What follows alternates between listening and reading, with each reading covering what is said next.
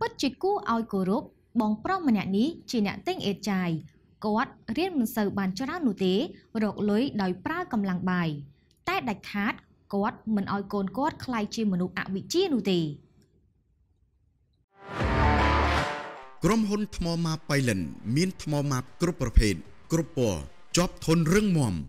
សូមទំនាក់ទំនងទូរស័ព្ទលេខ012 545 492 តាមពិតមិនមែនថាខ្ញុំមិនចាយទេប៉ុន្តែខ្ញុំខំប្រឹងរកលុយខ្ញុំមិនចាយច្រើនទេព្រោះហេតុអីដើម្បីកូនបងប្អូនមហាជននិយមលេងបណ្ដាញសង្គមបានបង្ហាញក្តីគោរពនិងកោតសរសើរបងប្រុសជាអ្នកទិញអេតចាយម្នាក់នេះជាខ្លាំងបន្ទាប់ពីគាត់បានធ្វើវីដេអូមួយឆ្លើយតបទៅក្នុងបណ្ដាញសង្គម TikTok ថាគាត់ខំរកលុយមិនសូវហ៊ានចាយទេ គឺដើម្បីកូន ពីព្រោះគាត់ជាមនុស្សដែលអវិជ្ជាដូច្នេះត្រូវខំរកលុយសន្សំទុកដាក់ទុកឲ្យកូនបានទៅរៀនសូត្រកុំឲ្យដូចជាគាត់បងប្រុសបន្តថាពីព្រោះមនុស្សអវិជ្ជាដូចជាគាត់ធ្វើការហត់ខ្លាំងណាស់ត្រូវការប្រើប្រាស់កម្លាំងដូច្នេះហើយគាត់ចង់ឲ្យកូនគាត់មានចំណេះដឹងខ្ពង់ខ្ពស់ថ្ងៃក្រោយធ្វើការដោយប្រើខួរក្បាលមិនប្រើកម្លាំងបាយដូចជាគាត់ តាមរយៈបងប្រុសម្នាក់នេះដែលគេស្គាល់ថាបងសង្ហាទិញអេតចាយគាត់បានបង្ហោះវីដេអូអមដោយពាក្យដ៏មានតម្លៃនិងក្តុកក្តួលយ៉ាងខ្លាំងដូចនេះថាបាទអរគុណតាមពិតមិនមែនថាខ្ញុំមិនចាយទេប៉ុន្តែខ្ញុំខំប្រឹងរកលុយខ្ញុំមិនចាយច្រើនទេព្រោះហេតុអីដើម្បីកូនបងប្អូនខ្ញុំជាមនុស្សអវិជ្ជាខ្ញុំមិនអាចឲ្យកូនខ្ញុំអវិជ្ជាបានទេបាទព្រោះពេលដែលខ្ញុំអវិជ្ជានឹងគឺខ្ញុំហត់ណាស់ដល់អញ្ចឹង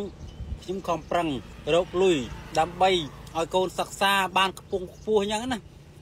ដល់ពេលគាត់រៀនចេះទៅគាត់បានការងារណាដែលស្រាលស្រាលស្រួលស្រួលដោយប្រើតែចំណេះវិជ្ជាក៏អញ្ចឹងមិនបងថាចង់ឲ្យបងប្អូនអីគាត់ខំប្រឹងរៀនបាទកុំម្លាយទៅដើរលេងរៀនសូត្រពីវិជ្ជាតនខ្លួនយើងនៅក្មេងចាងងារសំណងក៏ហត់ មិនមែនថាមិនល្អការងារអីក៏ល្អដែរ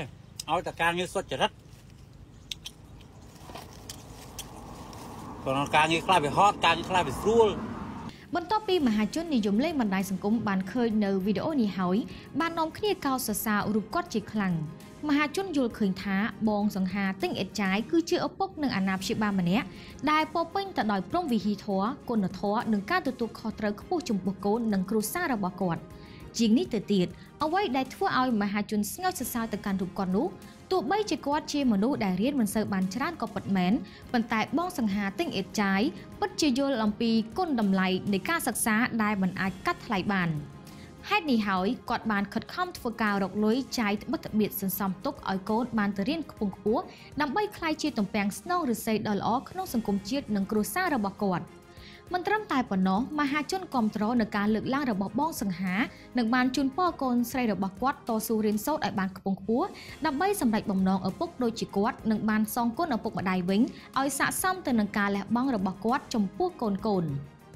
ទោះជាយ៉ាងណានេះគឺសពបញ្ជាក់ឲ្យដឹងថា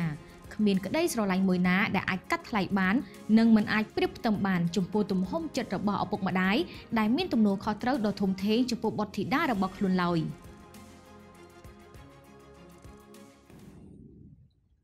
នាងខ្ញុំហៃសោភាពី Swift New និង Best TV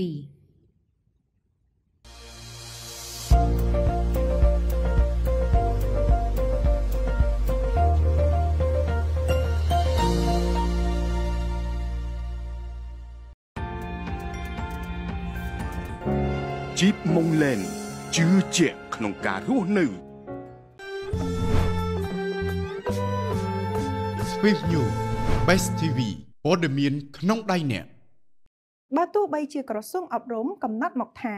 គ្រូបឋមសិក្សាគ្មានឯកទេសកម្មប្រាក់តិចជាងគេ ប្រាក់ខែតិចជាងគេក៏ប៉ុន្តែការងារតម្រង់ទិសសិស្សក៏មិនតិចនោះដែរ Land Rover នាំចូលនឹងចែកចាយផ្ដាច់មុខដោយក្រុមហ៊ុន RMA Cambodia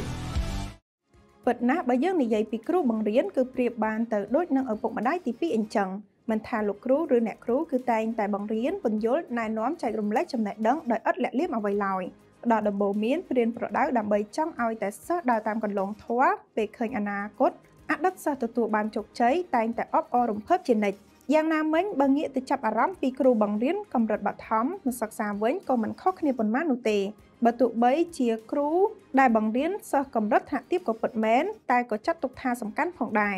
ព្រោះថាបើសិនជាសិស្សានុសិស្សគ្មានការតម្រង់ទិសឬចាក់គ្រឹះទាំងផ្នែកចំណេះដឹងនិងសិលធម៌ឲ្យបានរឹងមាំពីថ្នាក់ក្រោមៗនោះទេ នៅពេលឡើងទៅថ្នាក់ខ្ពស់ក៏ប្រឈមមុខទៅនឹងផលលំបាកដែរជាក់ស្ដែងកាលពីពេលថ្មីថ្មីនេះយោងតាមការបង្ហោះរបស់លោកគ្រូបង្រៀនម្នាក់ដែលបានចែករំលែកក៏ដូចជាសរសេររៀបរាប់តកតងទៅនឹងកិច្ចការមួយចំនួនរបស់គ្រូបង្រៀនបឋមសិក្សាយ៉ាងដូចនេះថា ការងារប្រចាំថ្ងៃរបស់គ្រូបឋមសិក្សា ទៅដល់សាលាកែកិច្ចការផ្ទះ សិស្សមួយកំណរបង្រៀនពន្យល់ណែនាំអប់រំត្រួតពិនិត្យសៀវភៅក្រែងសិស្សមិនកាត់មេរៀនគ្រប់គ្រងពិនិត្យមើលសិស្សគ្រប់ជ្រុងជ្រោយចេញលេងក្រែងសិស្សលេងផ្ដេសផ្ដាស់មានគ្រោះថ្នាក់ស្រែកចំទាលចង់បែកបំពង់កក្រែងសិស្សស្ដាប់មិនលឺមិនច្បាស់មិនយល់នៅផ្ទះកាយកិច្ចការផ្សេងផ្សេងបុកបន្ទុកធ្វើចំណាត់ថ្នាក់ធ្វើកិច្ចតែងការផលិតសម្ភារៈផ្សេងផ្សេង100មុខធ្វើតែម្នាក់ឯង គេគ្រូអនុវិទ្យាល័យអ្នកខ្លះបង្រៀនមួយសប្តាហ៍10ម៉ោងខ្លះ5ម៉ោងខ្លះ3ម៉ោងអ្នកខ្លះទៀត1ម៉ោងគ្រូបឋមសិក្សាមួយថ្ងៃ4ម៉ោងមួយសប្តាហ៍6ថ្ងៃពេញក្រសួងអប់រំថា គ្រូបឋមសិក្សាគ្មានឯកទេសកម្មប្រាក់ទាបជាងគេ ប្រាក់ខែតិចជាងគេដោយឡែកតាមរយៈការបង្ហោះសំណេរមួយនេះផងដែរឃើញថាមានមហាជនជាច្រើនបានធ្វើការចែករំលែកតៗគ្នាជាហូរហែ ក្នុងគោលបំណងរំលឹកក៏ដូចជាដឹងគុណទៅកាន់គ្រូបង្រៀនរបស់ខ្លួននិងបានចូលទៅបញ្ចេញមតិយោបល់ដោយគោរពស្រឡាញ់ចូលចិត្តទៅកាន់ការលើកឡើងរបស់លោកគ្រូខាងលើហើយមហាជនខ្លះបានបញ្ចេញអារម្មណ៍អាណិតទៅកាន់គ្រូបឋមព្រមទាំងលើកឡើងថាលោកគ្រូនិយាយនេះពិតជាត្រឹមត្រូវណាស់ក្រសួងគួរតែមានការលើកទឹកចិត្តចំពោះគ្រូបឋមបន្ថែម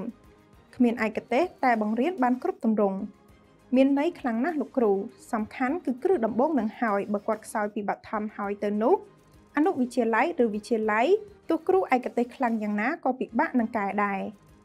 ជាមួយគ្នានេះផងដែរក្នុងនោះក៏សង្កេតឃើញមានថាមហាជនផ្សេងទៀតមិនបានគ្រប់គ្រងការលើកឡើងបែបនេះឡើយហើយថែមទាំងបានចូលទៅបញ្ចេញមតិយោបល់ដោយផ្ទុយពីខាងលើយ៉ាងដូចនេះថាមុនពេលចូលធ្វើការសុទ្ធតែដឹងហើយទូនីតិការងាររបស់ខ្លួនការងារផ្សេងគ្នាទូនីតិផ្សេងគ្នាទទួលខុសត្រូវការងារមានរៀងរៀងខ្លួន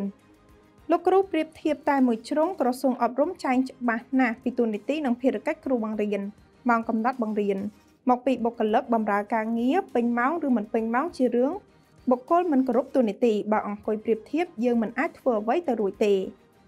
កតបកិច្ចនឹងការទទួលខុសត្រូវមិនអាចដូចគ្នាទេ គ្រូបឋមគ្រូអនុវិទ្យាល័យគ្រូវិទ្យាល័យមិនត្រូវយកមកប្រៀបធៀបគ្នាបែបនេះទេ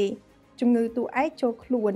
អ្វីដែលសំខាន់បំផុតគឺត្រូវអនុវត្តតាមទូនីតិភារកិច្ចដែលមានចែងក្នុងលិខិតបឋានគតិយុត្តនិងតាមការប្រគល់ភារកិច្ចរបស់ថ្នាក់លើគ្រូបឋមរៀនចាប់ត្រឹមថ្នាក់ទី12ក៏អាចប្រឡងបានតែគ្រូវិទ្យាល័យគឺត្រូវរៀនបន្តនៅសាកលវិទ្យាល័យដើម្បីយកបរិញ្ញាបត្រសិនទើបប្រឡងបានអញ្ចឹងមុននឹងរៀនចប់បានខ្លាយជាគ្រូនៅវិទ្យាល័យគឺត្រូវចំណាយពេលវេលានិងលុយច្រើនណាស់សូមកុំប្រៀបធៀបឬច្រណែនគ្រូវិទ្យាល័យអីខិតខំប្រឹងប្រែងបំពេញតែការងារខ្លួនឲ្យល្អទៅ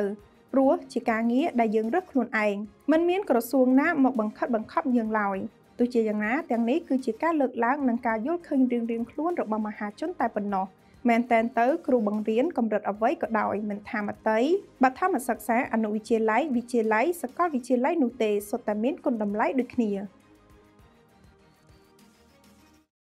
នាងខ្ញុំដាស្រីណែតពី Swift News និង Best TV Boost Strong ឆ្ងាញ់រហូតឈ្នះពានរង្វាន់រសជាតិកំពូលឆ្ងាញ់ Superior Thai Award Boost Strong ក៏ទទួលបានមេដាយមាសគុណភាពល្អ5ឆ្នាំជាប់ជាប់គ្នា Swift News Best TV ព័ត៌មានក្នុងដៃអ្នក